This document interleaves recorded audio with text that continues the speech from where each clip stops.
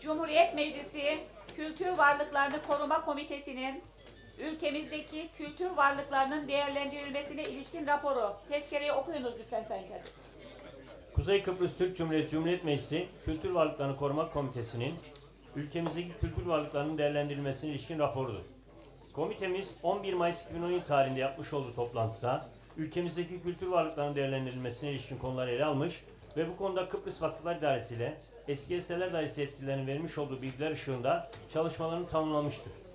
İş Tüzüğün 20. 21. maddesinin 5. fıkrası kurallarına dayanarak Cumhuriyet Meclisi'nin 34 Taksim 1 Taksim 1991 sayılı kararıyla oluşturulan komitemizin görevleri arasında ülkedeki taşınır ve taşınmaz kültür varlıklarının saptanması, korunması, geliştirilmesi ve değerlendirilmesine ilişkin araştırmalar, incelemeler yapmak ve bu araştırma, inceleme ve çalışmalar hakkındaki görüş ve tavsiyelerini Genel Kurul ve ilgili bakanlığın bilgi, bilgisine getirmek yükümlülüğünde yer almaktadır. Komitemizin, komitemizin görev alanı ve yetkisi çerçevesinde kültür varlıklarının korunmasına yönelik yapmış olduğu araştırma ve incelemelere ilişkin değerlendirmeleri aşağıdaki şekilde belirtmeye uygun bulmuştur. Komitemiz 60 Taksim 1994 sayılı eski eserler yasasının taşınmaz eski eserlerin ve doğa varlıklarının saptanması, korunması, sit alanlarının derecelendirilmesine yönelik kuralları öngören 7. 8. ve 9. maddeleri yorumlamıştır. Eski eserler yasası hakkında eski eserlerin ve doğa varlıklarının korunması ile ilgili hükümler komitemizin görev ve yetkileri açısından bağdaşmaktadır. Eski eserler yasası kurallarında sit alanına ilgili düzenlemeler yer almaktadır. Bu düzenlemelerin içerisinde tarihi sit kavramında bulunmaktadır.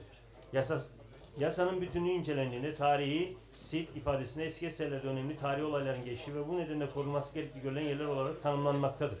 Yasanın ayrıca korumu, koruma alanı veya sit alanı ilan edilebilmesi kuralları içerisinde geçen taşınmaz eski eser ifadesi de ülkemiz tarihindeki önemi nedeniyle zaman kavramı söz konusu olmaksızın büyük tarihi olaylara sahne olmuş binaları ve veya alanları kapsadığı görülmektedir.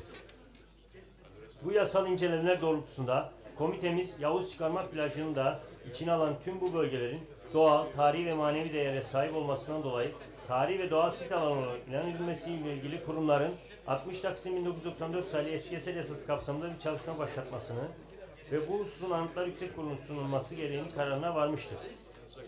Yukarıdaki gerekçeler ışığında Kıbrıs Türk mücadele tarihinde çok önemli tarihi bir yere sahip olan Girne Karaoğlanlı bölgesinde bulunan Yavuz Çıkarma Plajı'nı ya da bahse konu alana taşınmaz malın 60 Taksim 1994 sayılı eski eserler yasasının 7. maddesinin 1. ve 2. fıkraları uyarınca gelebilecek fiziki müdahalelere karşı tarihi sit alanı olarak ilan edilmesiyle koruma altına alınmasını bakanlığa tavsiye etme kararını oy birliğiyle almıştır.